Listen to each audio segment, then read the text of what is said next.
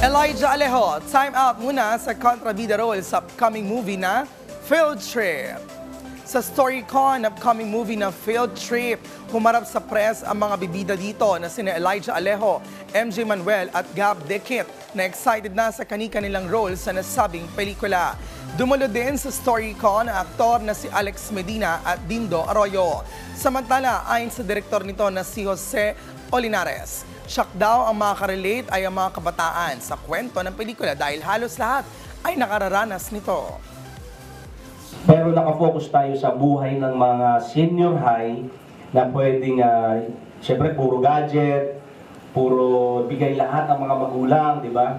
Although our film is glossy kasi Montessori yung concept natin, kumbaga yung high school dito is private, private school, no?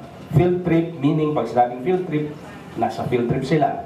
Suspense ended nila is Very thankful at excited naman ang bida sa pelikulang Field Trip na si Elijah.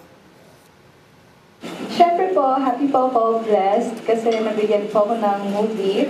Um, and excited, kasi ngayon lang po ako gagawa ng movie na suspense adventure. So, thank you po, Direk.